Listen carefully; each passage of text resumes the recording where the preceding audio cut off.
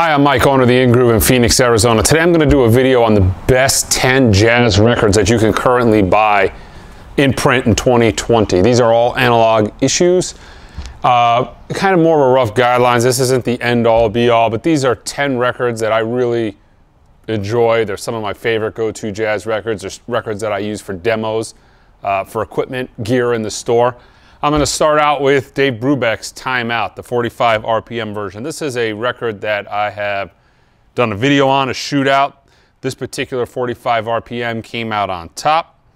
Uh, this is a fantastic record. This is a great record for showing the three-dimensional three-dimensional nature of a band playing. You know, you, you can put this record on and close your eyes and you can kind of pick out Brubeck, you could pick out the drummer, you could pick out everybody within you know, like a virtual stage setting. This is a, a great record for that. Uh, one of my favorites.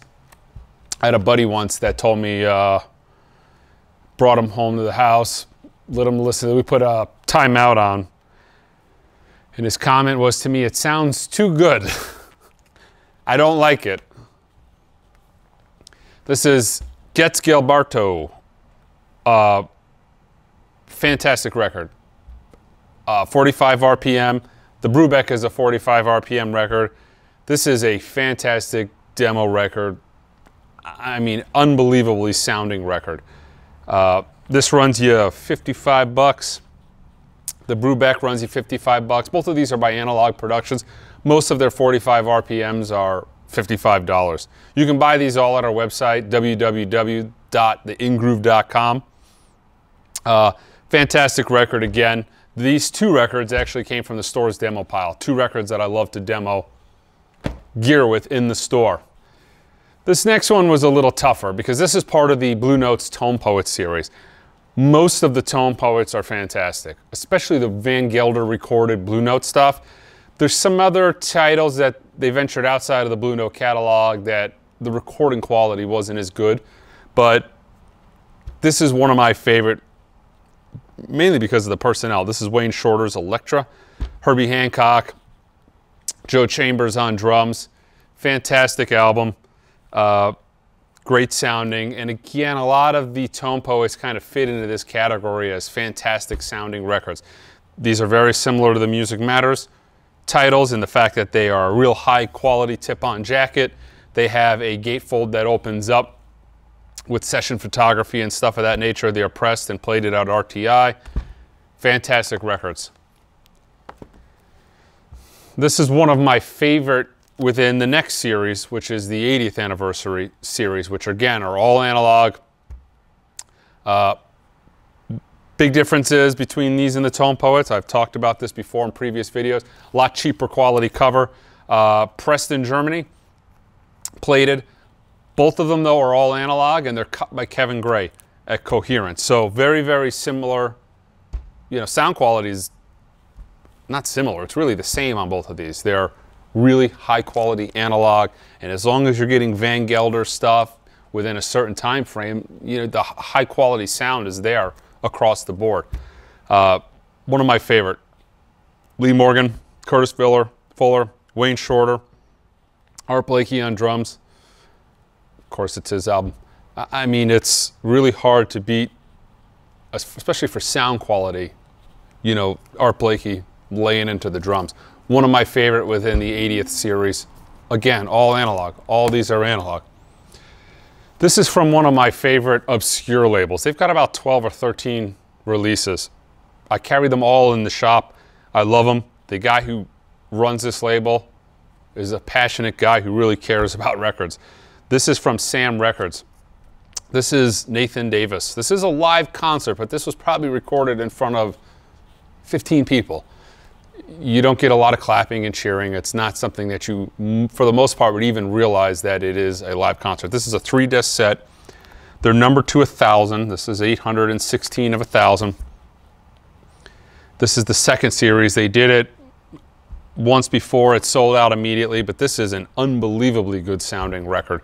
This label kind of specializes in doing European, mostly French issued records that were studio albums, whether it's Chet Baker or uh, Miles Davis soundtrack or some Monk soundtrack stuff. This Barney Wilen, this is essentially the exiled musicians, the jazz musicians who, for whatever reason, went to Europe, cut an album, lived in Europe, but essentially it's American players in a lot of cases with, you know, European ba backing band. They're studio albums in a lot of the cases, but they're next to impossible to find. They go for astronomical money, and Fred over there at Sam Records does a fantastic job. Kind of like Music Matters here in the United States, they go back, they get the original session photography, license it, it's all analog. You know, a lot of theirs are flip back covers like the old Beatles records or a lot of the European records, uh, UK pressings from the 50s and 60s, you know, the flip back covers. He replicates all that and does a fantastic job. This is one of my favorite though. This is a concert that never came out. The sound quality on this is unbelievably good and it's kind of a a lot of different styles of jazz. So it makes a real good a good album. Great demo record. Fantastic introduction into Sam Records. This is done by Impex, another highly regarded audiophile label. This is Friday Night Lights. McLaughlin, DeLucia, Di Meola, killer guitar work. This is the 45 RPM version. There's a 33 RPM version of this. That's really good. This is the 45 RPM version. Number to 3000 done by, again, Impex Records. Fantastic records. This has been like an audiophile record for since the original came out. Exceptionally well recorded. Fantastic record. Done by Impex. This is an unbelievably sounding record. Norah Jones, Come Away With Me. This is one that I've been playing in the store a lot lately since they got reissued again. This was at a print maybe about six months ago, and this was going for like 150, 200 bucks. This was a very expensive album, and then, you know, Analog Productions got licensed to do it again, and they just cranked out another run of them. And uh, yeah, now you can get it for 35 bucks. And if you heard it, you probably, a lot of people would have laid down that 150, 200. So a great opportunity to get this particular record at $35 while it's, you know, on the cheap. When it goes out of print, it's going to shoot right back up to that $150, $200 range because of how good it sounds. It is unbelievable. Uh, kind of a rare circumstance to where you're getting an album cut in the early 2000s on tape. Fantastic sounding analog recording done by Analog Productions. This is like a must-have. Again, a very solid demo record here in the store. This is an Impex record similar to the Friday Night Lights, but this is done on a label called Three Blind Mice. This is a Japanese label, really known amongst the world for extremely high quality analog recordings. This is a, a group of Japanese musicians that you know they cut a lot of records. They created their own label called Three Blind Mice, and this was kind of the blue note of Japan. They were absolutely fanatical about sound quality. If you look at Blow Up, you can actually see they draw out the studio, all the musicians, uh, placement in the room, what microphones they use to mic the, the room, the instruments, it's all listed. The sound quality is absolutely unbelievable. This is my favorite title in, Impex does three of these. You can get a box set with all three of them in them. This is one of the single titles that you can get uh, separate from the box set. Isao Suzuki Trio Quartet. This is Blow Up. This is an unbelievable record and a bass monster. This will, uh, this is a fantastic record. I play this a lot in the store. People are always wondering what it is. I sell them one title, typically the one I'm playing, which is Blow Up, and then they come back and they get the rest. I've turned a lot of people onto this. It is a fantastic, high quality sounding record.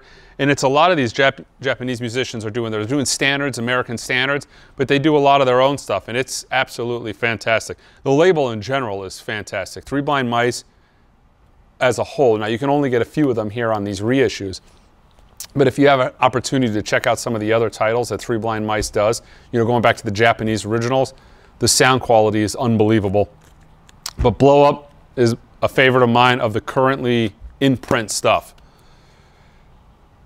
Next, I'm going to do uh, Miles Davis's Kinda Blue. This is the Mobile Fidelity 45 RPM version. Now, at the time of doing this video, this particular title is awaiting a repress. That's the case with this album all the time. They make some, they sell out immediately. You wait a couple of months, you got to get it again. Every single time that they're awaiting repress, they shoot up in value, $75, $125. Don't pay it. Wait till they come back in print. They'll be on my website when they do. Uh, greatest jazz album of all time and the best sounding version of that album. While you can get it, now a lot of the Miles Davis titles are going out of print. They're already 150 $200. Bitches Brew is extremely expensive. But this is still currently in print, just waiting a repress. This is an absolute must have in any jazz collection. Of course, it's the greatest jazz album of all time, the best selling jazz album of all time by the, you know, biggest star of, in jazz. Uh, Miles Davis is Kinda Blue, the 45 RPM, fantastic sounding record. And last, I'm going to pitch another one of the Mobile Fidelity one steps. It seems that no matter what record they make in a one step title, it is the best version of that record you will ever hear. That has been the case so far. These are unbelievably high quality sounding records. They should be. They're $125 brand new, which is an exorbitant amount of money for a new record. But when you look at a lot of these jazz records, you know, in a lot of cases, an original costs, not on this particular title, but in a lot of cases, you know, thousands of dollars. So uh, compared to that, these are really relative bargains. But while this is still in print, the jazz titles, they do mostly three, 6,000 of them. So while this is in print, get it. I don't think it'll be in print for long. I mean, it's not in print, but I don't think the 6,000 will stick around for long. So while you can, get it. These one steps are absolutely fantastic. Uh, it doesn't matter what genre of music it is, when they do a one step, they really are fantastic. Uh, this has been one of my favorite titles actually that they've done. There's about you know four or five that I really like. Uh, the Thelonious Monk, unbelievable. Santana Abraxas is fantastic. Obviously, that's why it goes for over a grand. Uh, the Marvin Gaye and the Bob Dylan are absolutely fantastic. The Marvin Gaye is uh, unbelievable. R&B that was recorded well, that's done as an audiophile issue is really hard to beat as far as, you know, sound quality on vinyl. But again, guys, I appreciate you watching. Again, all this stuff can be bought on our website at theingroove.com. I'll put links below. Don't forget to subscribe to our videos and like it. We're going to be doing a lot more of these while the store is currently closed due to the coronavirus outbreak. Got a lot of spare time on my hands. All right, guys, until next time.